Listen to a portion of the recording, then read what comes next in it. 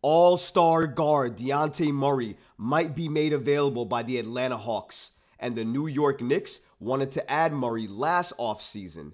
If he is made available again by the Atlanta Hawks, the Knicks might call and see what it would take to make a trade happen to get Dejounte Murray.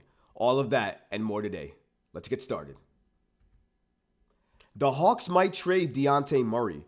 According to Bleacher Report's Eric Pincus, Murray might be moved for the right price under the new collective bargaining agreement for luxury tax teams.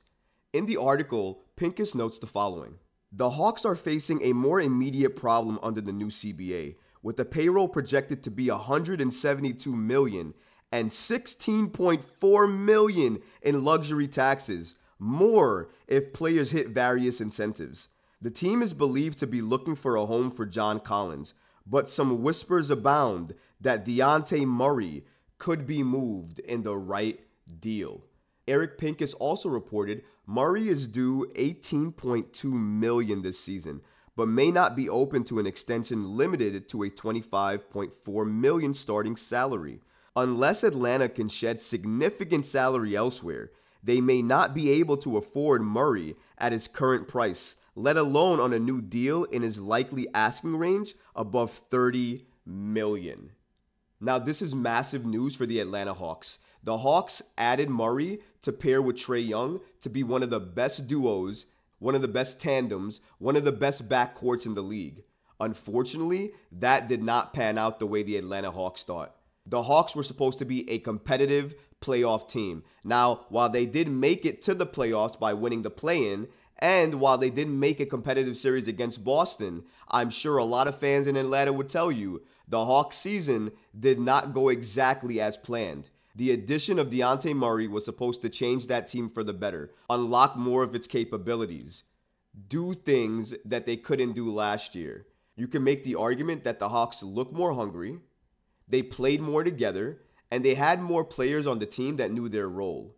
And I think some of the times the problem with Trae Young and Dejounte Murray is that some of the time Trae Young would do it, some of the time Dejounte Murray would do it. It never felt like they were playing off of each other. And that's the biggest thing in terms of a backcourt. You need chemistry. You need to play off each other. Not so much let me go now and then it's your turn and then it's my turn. We've already seen that that type of play isn't always conducive to winning.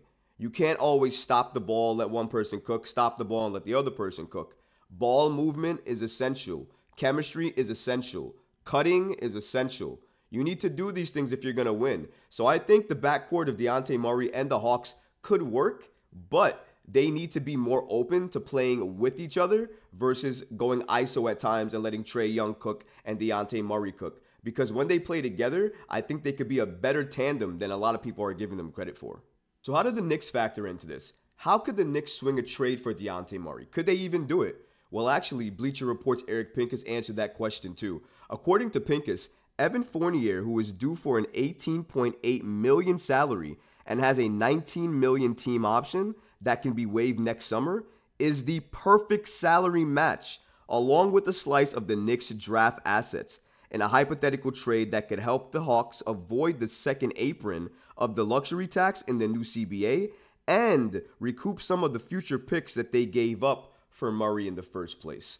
So the Knicks, if they wanted to, and if they felt the need, could potentially get a Murray deal done with the Hawks. It would cost them Evan Fournier. I know I can hear you guys crying now. I'm sure you'll miss him.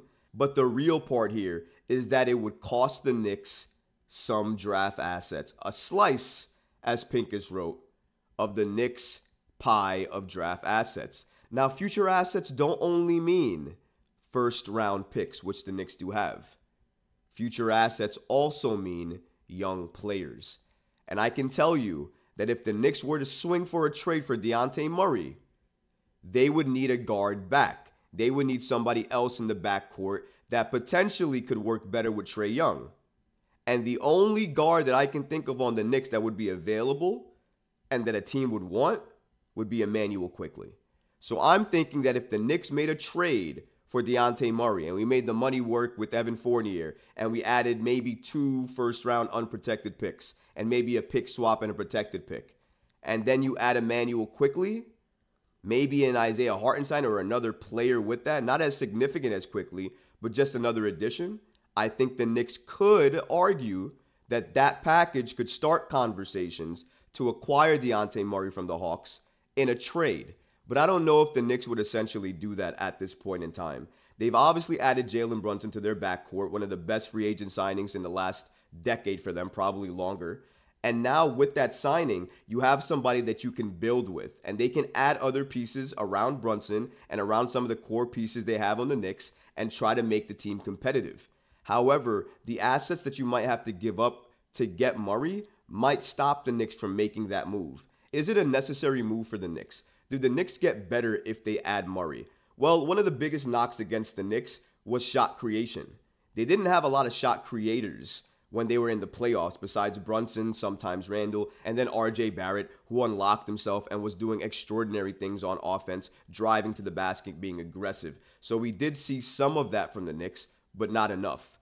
Clear as day, we needed better shooting, we needed more shooters, and we needed somebody who could create their own shot. If you're looking for a guard that can defend very, very well, who steals the ball extremely well, and also can create their own shot, Dejounte Murray checks those boxes. Check out his season averages. Dejounte Murray averaged 20.5 points, 6.1 assists, and 5.3 rebounds in 74 games played this season. 74 games. Again, the best availability for your team is being out there on the court, and he was able to do that for his team this season. 20 points playing with Trae Young and you know how many shots Trae Young's going to get up. Ice Trae comes alive because of the amount of times he shoots. Let's get that right. So if that's the case, averaging 20 points in a backcourt with Trae Young is actually pretty impressive, especially with the way that they play. They don't play a lot of the times together or off of each other. They play separately at times. So it's actually very interesting to note that he could score 20 points and get the averages that we just read playing with Trae Young. So if you're looking for somebody that can help get a shot, help create their own shot, help get others involved, and still keep the defensive tenacity that you need for a Tom Thibodeau team, Dejounte Murray does check those boxes. If the Knicks are looking to upgrade in terms of getting a better guard that they can trust, that is still in the trajectory in terms of where the Knicks are headed, Dejounte Murray could be that addition. And if they think that Immanuel Quickley has hit his ceiling, then it makes a lot of sense for them to entertain a trade that would move Quickley out of the Knicks and bring another guard that they believe in to the Knicks that they potentially could pair in the backcourt with Jalen Brunson that would make them more competitive. An addition of Murray might do that. My only fear and concern about that is how many draft picks would it take to acquire Murray for the Atlanta Hawks? Not to mention, the Hawks haven't even mentioned anything about making Murray available. But it's very interesting to note that under the new collective bargaining agreement, the Hawks are not able to do what they used to be able to do in terms of signing other players, going into the luxury tax, trying to get better in that regard. They can't play with that same type of house money as they were able to before.